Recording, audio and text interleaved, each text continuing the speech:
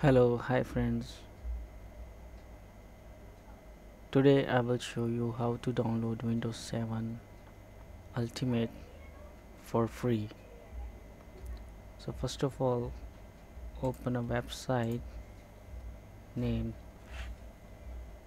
it's called hit and find.com hit enter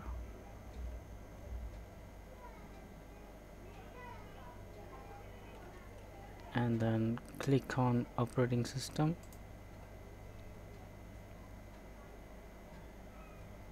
Now scroll down.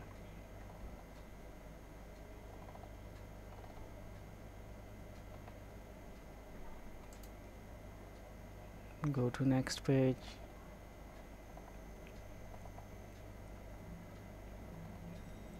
Here you will see Windows 7 Ultimate Service Pack 1 free download.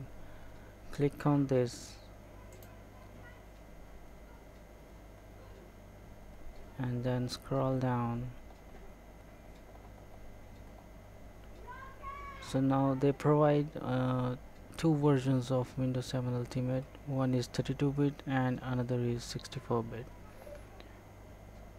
so whatever you need just click on this sea green download now button to download the ISO file.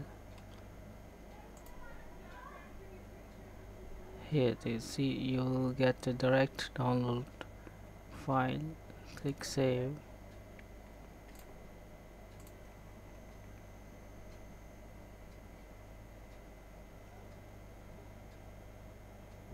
And here you go. Your download is now start thanks for watching